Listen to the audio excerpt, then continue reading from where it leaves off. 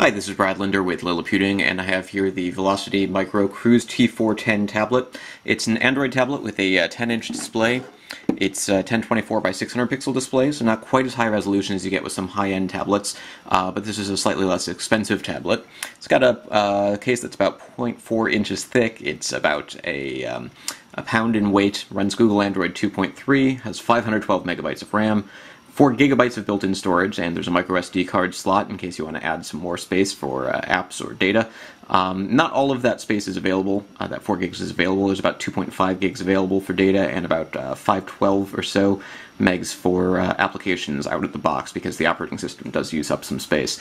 Uh, 802.11bgn Wi-Fi, front-facing camera, and an accelerometer. There's no uh, gyroscope though. And you can see some of the applications it comes preloaded with, including the Amazon App Store for Android, Adobe Flash, uh, Kindle app, uh, Quick Office, and so forth. In uh, terms of what it looks like, looks like a tablet. Um, it's uh, got a micro USB card uh, or micro uh, USB port, micro SD card slot, and headphone jack.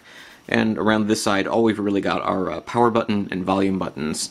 And that's pretty much it for around the edges. There's also a little microphone built in here. So if you can use the front-facing camera here and the microphone to do uh, video chat or, uh, or whatnot. there is no camera on the rear. There's just one speaker, which is reasonably loud, um, but it's it's not a very high quality speaker. If you want to use it for listening to uh, internet radio or something, that's fine. Uh, you can watch a video, but if you're in a noisy room, it's not going to be ideal, and you're going to want to use a pair of headphones. Um, you'll notice that there are no buttons on the front, so even though this guy runs Android at 2.3 Gingerbread, which uh, relies on um, using the home and, and back and menu and search buttons, um, that you have to use these on-screen buttons to uh, to use those functions. There's nothing built into the case, and that makes sense on a tablet uh, because when you rotate the screen, if the buttons were down here, and then you'd have to sort of go to the side to use them and so forth. So um, that's one of the reasons why I think uh, Google with Honeycomb and uh, Ice Cream Sandwich has moved to a software button uh, layout instead of using hardware buttons. But instead of using honeycomb or ice cream sandwich because this came out before uh, the source code was available to uh, to vendors. Um, Velocity Micro went with their own sort of custom toolbar here, and what they've done is they've taken this, you know, the, the notification tray that's available in most Android devices and added buttons to the top. Now, because they're on the top, they can be sort of awkward to hit because it's more comfortable really to hold this from the bottom most of the time and that means that from time to time you're going to have to reach your hand all the way up in order to uh, access those functions, which is a little bit less than ideal. Um, it's not as big a problem on a smaller device like the Cruz T408 um, because you don't have as far to go.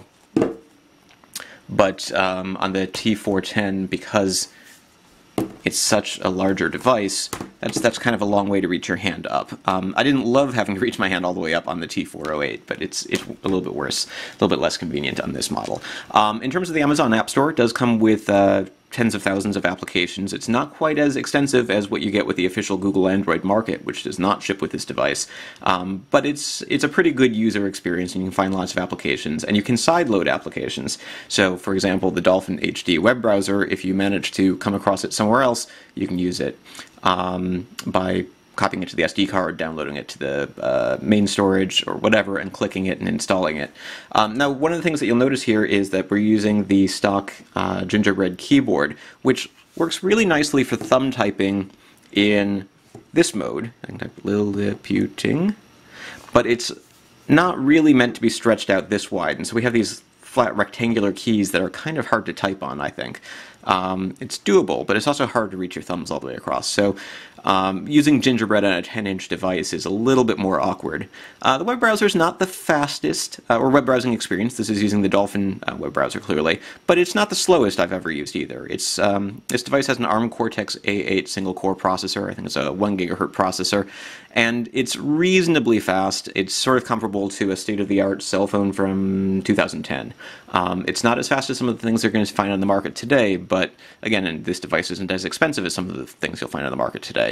And it does load web pages reasonably well, uh, handles smooth zooming, and so forth.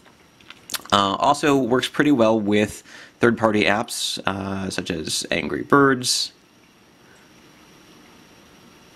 The volume is turned down.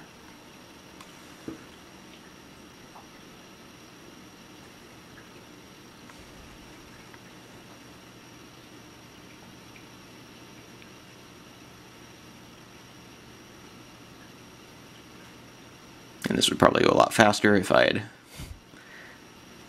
queued it up. But you can see we've got fairly uh, smooth gameplay here. The graphics look good. Uh, other third-party apps that I've tested on here include, uh, let's see, we've got Fruit Ninja. The Netflix application also works reasonably well. Uh, the touchscreen is pretty responsive, does multi-touch. Um, and, uh, let's see.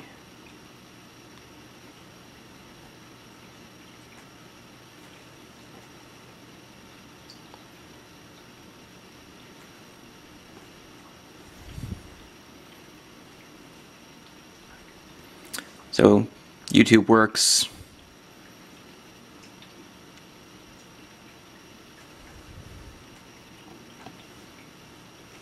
Camera works. It's not a very high quality camera, but it's uh, good enough for snapping a quick uh, front facing photo or for uh, making a video call or something along those lines. Um, so overall, you know, the experience of using this guy is um, decent, if not spectacular. um, now, some of the things that you might want to do, say, using it as an ebook reader can be a little bit awkward at times, I find, because the 1024 by 600 pixel 10 inch display um, plus the Velocity Micro software makes sort of a strange experience. So in widescreen mode here, we don't have a dual dual panel display, so we just sort of have a lot of text. And of course, you can this is using the Amazon Kindle uh, app, which comes with the device. You can increase the fonts, which will help with that to some degree.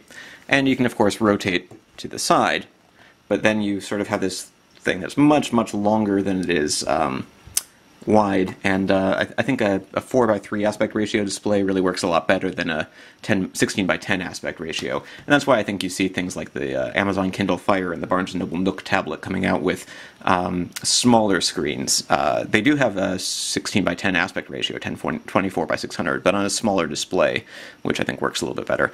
Now the other thing that uh, really bugs me about using the Amazon Kindle app here and the Velocity Micro uh, enhancements is that there's no way to access the menu button without tapping the screen. So you tap the screen, bring up the menu button, that's great, except now you've tapped the screen, and if you want it to go away, the top line of text is actually covered by the menu bar. So that just sort of seems like a, a simple design mistake. You have to wait a little while for it to go away. Um, and the way you flip pages here, it's sometimes hard to prevent that bar from coming up, and then you just have to wait for it to go away. So the uh, experience of reading ebooks is not as good as I would like it to be. Uh, surfing the web, pretty good. Playing games, pretty good. Overall, the experience of using this tablet, pretty good. Um, now, for the tricky part, it costs $300. Uh, it's almost identical in terms of hardware to the less expensive um,